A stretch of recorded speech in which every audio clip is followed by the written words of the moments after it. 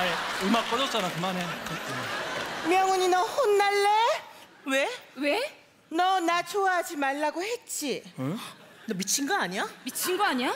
얘 진짜 미친 거 아니야? 너 왜 자꾸 밤마다 나한테 전화해? 보고 싶어서? 좋아해서? 돈을 안 갚아서. 돈을 갚어. 아, 아 진짜 돈 갚라고. 너 전자담배 산다고 3만 원 빌려갔잖아.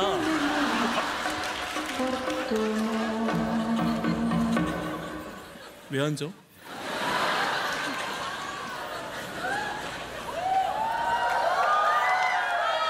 얘들아 축하해줘. 나 썸남 생겼어. 어.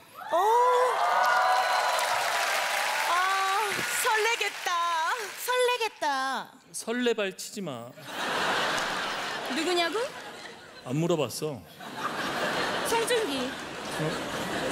저 여기 물어보신 분 계세요? 송중기. 아 잠깐 기다려봐. 어 없는데? 송중기.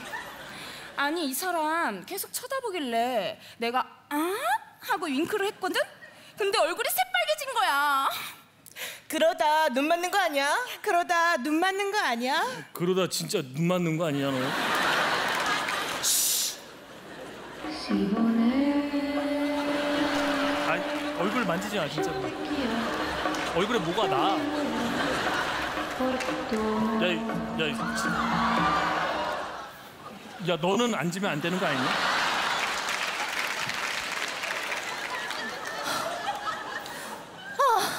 나 이런 경험 처음이야. 왜 그래? 왜 그래?